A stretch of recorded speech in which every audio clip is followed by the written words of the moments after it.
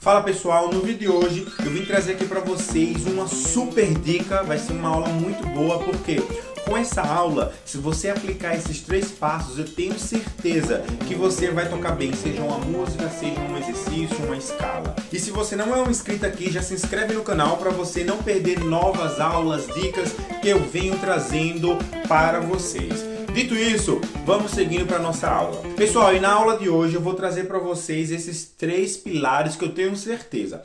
Se você aplicar direitinho, passo a passo, seguindo também essa ordem que eu vou estar tá trazendo aqui, você vai tocar bem e não é apenas uma música, é, a escala um exercício. Você vai tocar bem no geral o violino. Para você conseguir tocar bem, você primeiro precisa saber o que, que você quer tocar né? Oxi, como assim? Tá, você vai tocar uma música? Você vai tocar um exercício? Então, o primeiro pilar que eu gosto de pensar e trago sempre para os meus alunos é o seguinte: primeiro você precisa organizar o que que você vai fazer. Não pega o violino se você está pensando em estudar. Porque estudar e tocar são coisas diferentes. Nossa, eu não sabia, como assim? Se eu estou tocando violino não estou estudando? Não necessariamente. Tocar violino é uma coisa e estudar o violino é outra coisa totalmente diferente. Primeiro que para você tocar o violino é só você pegar e ficar tocando uma música, um exercício qualquer. Agora, estudar o violino, quando você pensa em estudar, o que, é que já vem na sua mente? Faculdade, escola, alguma coisa para aprender. Então, quando você fala vou estudar o violino, você precisa pensar o que que você vai fazer no violino para você aprender. Se você tocar só por tocar e não pensar no que que você quer fazer, você não está estudando. Você está simplesmente só pegando o violino, sei lá, vou tocar aí, vai.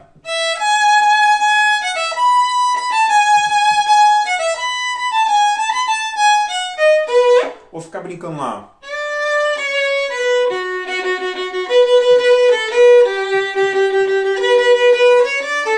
assim, é só tocar violino. Você está apenas tocando, você não está estudando. Ah, mas eu estou praticando alguma coisa. Sim, você está praticando uh, ter controle ali, né? Você está praticando o que você já sabe fazer. Então imagina assim, você já adquiriu algumas habilidades, três habilidades ou cinco habilidades X.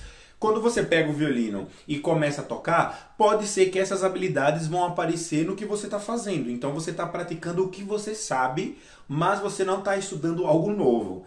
Então, o que, que é organizar e estudar algo novo? É quando você começa a analisar o que, que você vai fazer naquele momento. Vamos imaginar aqui que você tem 10, 15 minutos para estudar. Então, primeiro, o primeiro pilar é organizar. Você vai organizar o que que você vai fazer nesses 10 minutos. Então, beleza, você organizou ali que vai pegar uma música. Vamos imaginar que você vai pegar uma música aqui. O hino nacional. Vamos imaginar que você vai pegar o hino nacional. Na verdade, eu já ia falar o hino nacional, tá? Não foi aleatório, não. Beleza, então a gente vai pegar o hino nacional. Você vai entender qual é a tonalidade que ele tá, ah, quais são as formas que você vai usar nessa tonalidade, qual é a extensão das notas, a nota mais grave, a nota mais aguda. Tudo isso aí você está analisando primeiro para depois organizar o que, que você vai fazer. Beleza, você já organizou, já entendeu que você quer tocar o hino nacional, uh, você já entendeu quais são as informações que ela vai te trazer em relação a tonalidades, forma a, a extensão, já analisou tudo isso. Você agora vai começar a organizar o seu processo para tocar bem. Como que você faz isso? Agora que você organizou toda essa parte, entender o que, que tem que se acontecer para você estudar, você vai para o segundo pilar. E o segundo pilar é você é, compactar essas informações. Porque se você pegar um hino nacional inteiro, do início ao fim, direto, tocando tudo de uma vez, vai ficar muita informação e você não vai aprender. Imagina na escola, em algum lugar que alguém está te ensinando algo. Aí ela, essa pessoa começa a te falar um monte de coisa ao mesmo tempo, e ó, você tem que fazer isso e aquilo e aquilo. Quando ela terminar de falar, você fala, nossa, mas o quê? Você vai lembrar talvez duas, três, quatro coisas, né? De, sei lá, 50 que ela te falou. Então, é você compactar, deixar em informações menores. Como que é isso? Vocês percebem que aqui no meu tutorial eu sempre venho trazendo dividido em partes. Parte A, parte B, parte A2. Então eu gosto de fazer isso porque eu estou diminuindo, estou compactando as informações para vocês conseguirem analisar cada parte e tocar bem cada parte. Porque se você toca tudo de uma vez, como eu te falei, você não vai absorver todas as partes bem. Uma, uma ou outra você vai tocar bem, mas não vai ser todas. Eu tenho certeza. A não ser que você já é um, um, aluno mais adiantado, se você pega uma música fácil, sim, você vai tocar todas. Porque aquela música está em uma habilidade que você já sabe fazer. Beleza. Mas estamos pensando em algo novo que você está aprendendo. Então eu separei em partes menores. O que, que eu fiz? Vamos imaginar então aqui, ó, o hino nacional. A primeira frase que eu gosto de pensar é essa daqui, ó.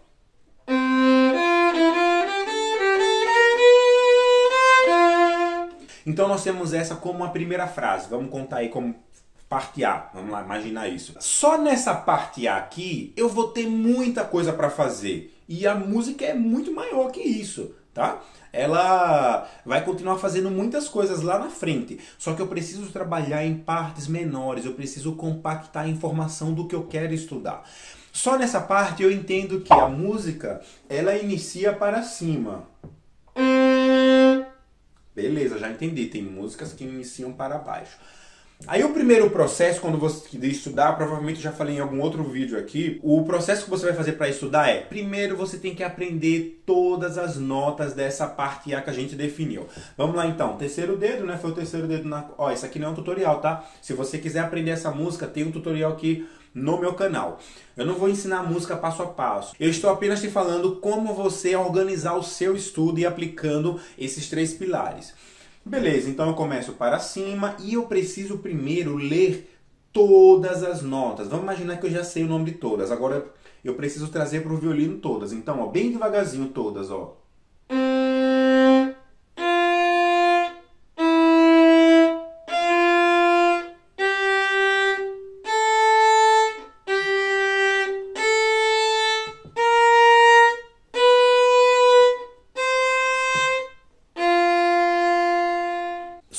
Essa parte que eu fiz aqui, eu tenho que repetir muitas e muitas vezes, muitas, até o seu dedo ele começar a entender esse caminho e não ter nenhuma dúvida.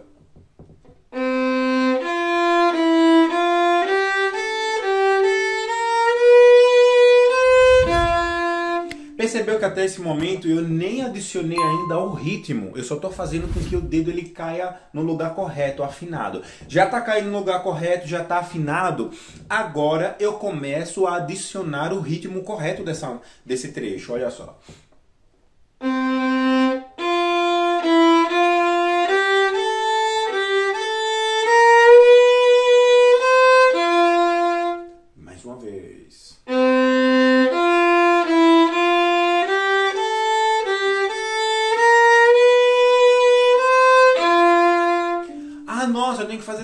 Esse processo só nesse trechinho pequeno? Sim, por quê?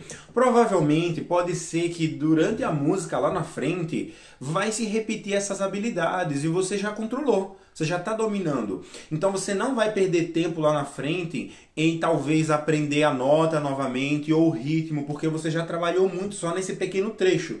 Foi um pequeno trecho que a gente já definiu, compactou né, a informação, e aí você já conseguiu dominar esse, esse primeiro trecho. Aí agora você vai para uma segunda frase, né? Que a gente falaria, sei lá, parte B aqui. E aí eu preciso voltar e fazer o mesmo processo, bem devagarzinho, todas as notas.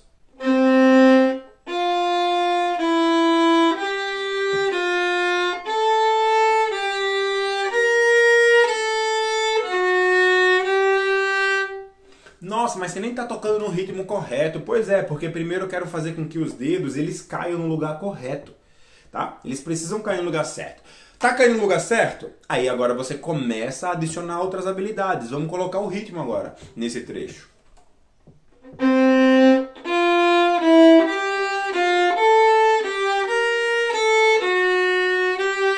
E aí você repete muito mais, tá? Muito mais.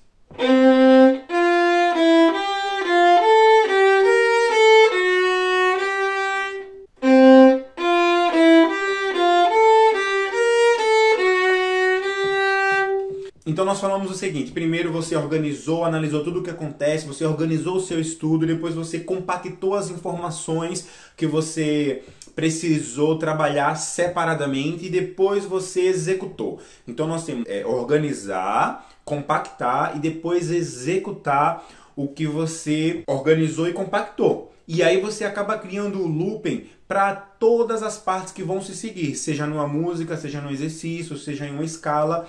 O terceiro a gente acabou fazendo sem falar, né? O terceiro é executar. E depois que você organizou e compactou tudo, você começa a tocar, executar, né, os trechos e lembra, você só vai para um trecho novo, você só faz esse organizar novamente e compactar para executar se aquele que você começou está bem feito, tá fazendo bacana, tá legal, tá afinado, tá no tempo, tá controlado, aí beleza, você vai para um novo e você cria esse ciclo. Organizo, vou compactar e depois eu vou executar Tá bom, vou para um próximo. E aí eu faço esse processo em tudo. E se esse vídeo aqui te ajudou de alguma forma, você já sabia desses três pilares que eu venho trazendo no canal, né? Eu acabo fazendo várias vezes esses três pilares. Você já sabia? Se você não é um inscrito, pessoal, já se inscreve aqui no canal para vocês darem essa força, a gente crescer junto e eu conseguir trazer e fazer o canal crescer para trazer muito mais conteúdos para vocês quase todos os dias, né? Pelo menos eu tô tentando toda semana. Aqui tá aparecendo meu Instagram, se você quer fazer uma aula comigo, manda mensagem lá é, e vamos conversar aí como fazer você tocar muito bem o seu instrumento. Mais uma vez, muito grato por vocês terem assistido até aqui e até uma próxima aula.